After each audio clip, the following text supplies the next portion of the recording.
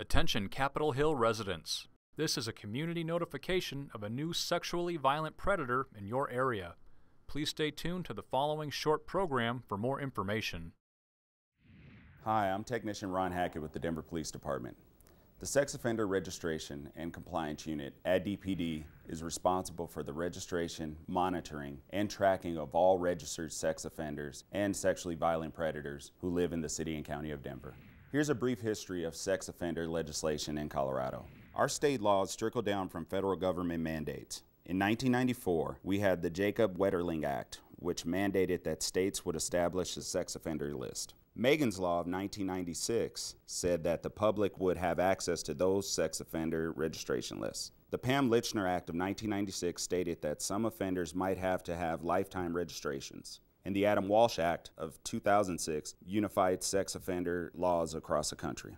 In Colorado, the legislature has determined that sexually violent predators, by definition, pose a higher risk to the community at large, and therefore mandated that upon their release from the Department of Corrections, the community must be notified.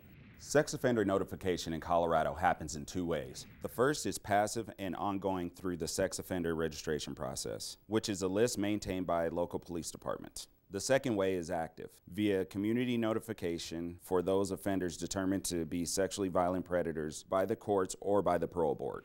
Most sex offenders in Colorado are supervised by the criminal justice system in our communities. Most sex offenders engage in crossover behavior, which means they may have been arrested for one type of crime but be apt to commit another. Many sex offenders have no criminal history at all prior to their arrest. There is no typical sex offender but all tend to be deceptive, manipulative, and secretive.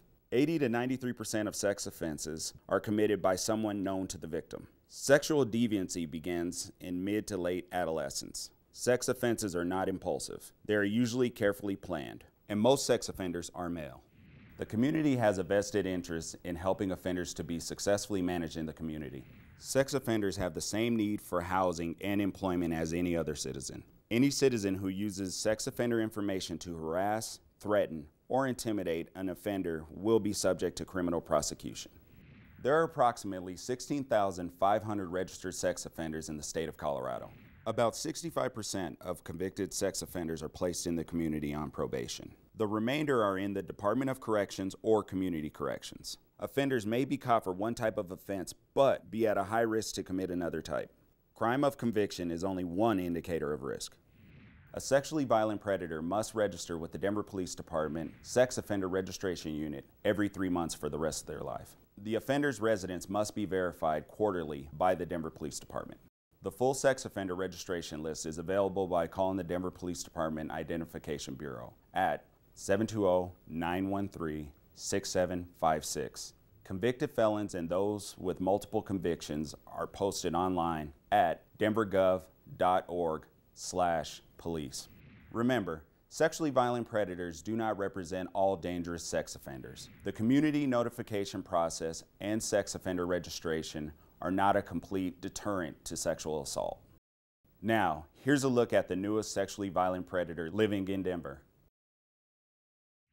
Here's an overview of the registered sex offenders currently living in Denver. There are 2,223 total living within city limits. In Denver Police District 6, there are 350. Precinct 623 has 93 registered sex offenders. Of those, 67 have felony convictions and 26 have misdemeanor convictions. Joseph Tobias Marquez is a sexually violent predator currently living in Denver. He's 54 years old and was born on July 10, 1961. He's a Hispanic male, 5 feet 7 inches tall, 178 pounds, with gray hair and hazel eyes. He's currently living at 1317 Pearl Street, Unit 18, in the Capitol Hill neighborhood of Denver. Schools located within one mile of this offender include Dora Moore School at 846 Corona Street, Morey Middle School at 840 East 14th Avenue, Contemporary Learning Academy at 200 East 9th Avenue. Parks located within one mile of this offender include Civic Center Park at 101 West 14th Avenue. Bus routes located within one mile of this offender include Route 12, Downing and Washington, Route 15, East Colfax, Route 15L, East Colfax Limited, Route 20, 20th Avenue. A brief history of charges against this offender. attempted sex assault on a child. He's currently on Denver probation and registered with the Denver Police Department on July 31, 2015 to 1317 Pearl Street, Unit 18. Past charges against this offender include attempted sex assault on a child, position of trust, sex assault, no consent, assault, property damage. Joseph Tobias Marquez has been determined a sexually violent predator after meeting the following criteria. Criteria 1 Age 18 or older on the date of the offense, or under 18 and tried as an adult. The offender was age 49 at the time of the offense. Criteria 2 The crime must have been committed on or after July 1, 1997, and convicted on or after July 1, 1999. Crimes include sexual assault, felony unlawful sexual contact, sexual assault on a child, sexual assault on a child by a person in a position of trust. The offender was convicted on September 27, 2010, for attempted sex assault on a child.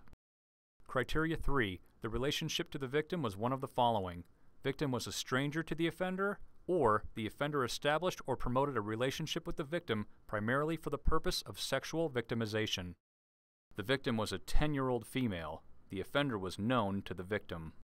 Criteria 4 Positive results are the passing of a risk assessment instrument administered by probation parole staff and a qualified treatment evaluator. Positive results include an assessment for the presence of a mental abnormality, a level of denial regarding the offense, treatment appropriateness and motivation, presence of sexual deviant interests.